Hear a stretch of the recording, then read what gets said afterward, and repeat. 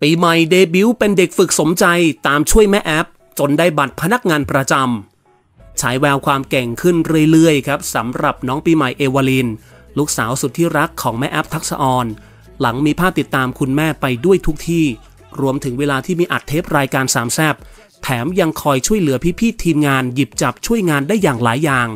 ซึ่งหน้าที่ที่ปีใหม่ทำประจำก็คือเขียนคิวขึ้นกระดานให้พิธีกรอ่าน ล่าสุดในอินสตาแกรมของโพลีพลัสจัดให้ ได้โพสต์ภาพน้องปีใหม่รับมอบบัตรพนักงานอย่างเป็นทางการ พร้อมทั้งเขียนแคปชั่นด้วยว่า ฝันที่ไม่กล้าฝัน ฝันถึงบัตรพนักงาน ดีใจกับน้องปีใหม่แฮชแท็กเด็กฝึกงานแฮชแท็กโพลีพลัสด้วยค่ะ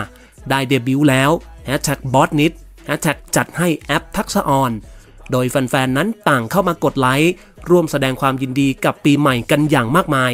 อาทิเช่นบอกว่าเอ็นดูรูปติดบัตร สมัย baby ดีใจด้วยนะครับพี่ปี น้องปีใหม่สวยและเป็นเด็กฉลาดมากๆค่ะ ยินดีกับการเดบิวต์ของน้องด้วยนะคะ Welcome to โพลีพลัสค่ะ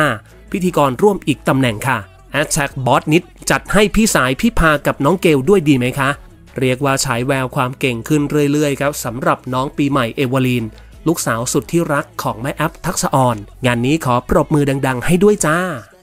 ไปต่อกันที่ข่าวดีครับ คุณยายเน่งตอบหลานดีมาก เมื่อน้องมีญาติถามว่าคนดำไม่สวยเหรอคะ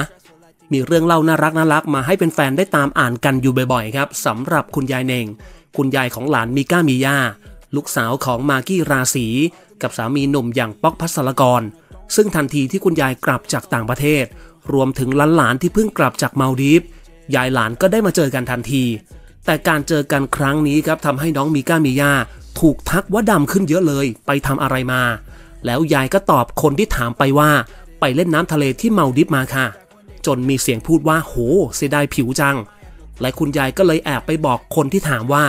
อย่าพูดแบบนี้กับเด็กๆนะคะ มันถือว่าบูลลี่นะคะ และน้องมีก้ามีย่าก็ถามคุณยายว่า คุณยายคะ ผิวดำไม่สวยเหรอคะ งานนี้คุณยายเลยให้คำตอบหลานได้อย่างดีมาก ตามแคปชั่นที่คุณยายได้เขียนเล่าไว้ว่าสองจิ๋วกลับจากมัลดีฟส์ คุณยายกลับจากออสเตรเลีย เรามาโรงเรียนพร้อมกันด้วยชุดนักเรียนจากฮาร์ดล็อกมัลดีฟส์555 การไปเที่ยวคือการเรียนรู้ของเด็กที่สำคัญมาก เมื่อคืนพาสองจิ๋วไปเดินซื้อของ มีคนทักว่าโหดำขึ้นเยอะเลยนะ ไปทำอะไรมาคะเนี่ย ยายเคยโดนทักมาก่อน ยายยิ้มแล้วให้คำตอบว่าไปเล่นน้ำทะเลที่เมาดิฟมาค่ะ โหเสียดายผิวจัง มีย่าผู้ใช้สมองคิดตามตลอด หันมามองหน้าคุณยาย แม่เน่งเลยให้เด็กๆเข้าไปเลือกซื้อของกันก่อน แล้วบอกกับคนที่ถามว่า อย่าพูดแบบนี้กับเด็กๆนะคะ มันถือว่าบูลลี่นะคะ เข้าใจไหมคะ จบนะ ผ่านมาตั้งแต่รุ่นแม่เน่ง รุ่นมากี้มารีนาไปเที่ยวทะเลทุกอาทิตย์ มาเจอรุ่นหลานอีกคำพวกนี้สามารถทำลายเด็กหรือคนอื่นๆ ให้ซึมเศร้าได้เลยนะคะ กลับเข้าไปซื้อของมีญาติถามทันทีว่า คุณยายคะ ผิวดำไม่สวยหรอคะ ไม่ค่ะลูกขาวดำสวยหมดแหละ คุณยายผิวไม่ขาว คุณแม่หนูผิวขาว